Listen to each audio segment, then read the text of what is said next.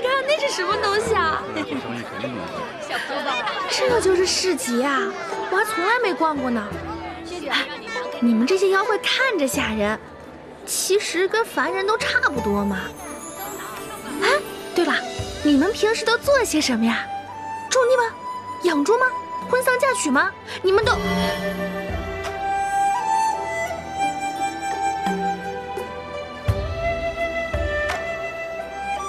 你再废话，本君把你变成哑巴。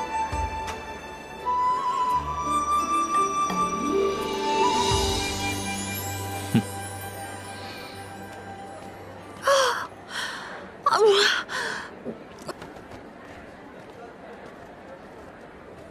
哎，花孔雀，他到底是怎么当上妖怪大王的？我看不是最好看，是最自大、最臭屁吧？我叫孔兰，谢谢。那他叫什么？他叫春妖，但你要尊称他为君上。君上，就是只自恋的臭妖怪。看着天儿，君上好像心情不太好。君上的心思，岂是咱俩能知道的？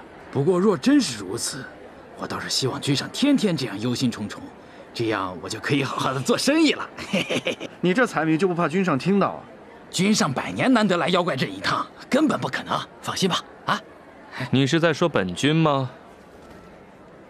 君上，君君上，君上，小的胡说八道，口不择言，还请君上恕罪。哎呀，他贵为百灵坛的君上。哪会有这么小肚鸡肠呀？就算你咒他食不下咽，夜不能寐，百病缠身，命不久矣，他也知道你是开玩笑的嘛，嗯，对不对，春妖君上？嗯，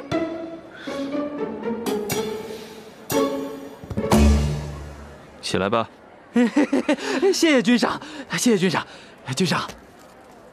这天马上要下雨了，小小礼物还不成敬意。给我吧。